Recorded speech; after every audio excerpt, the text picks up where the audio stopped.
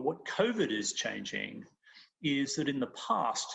credit was so often extended based on backward looking information, historical financials, your tax returns of the past, etc. Whereas in the future, that's going to be based on actual activity that's taking place right now in real time because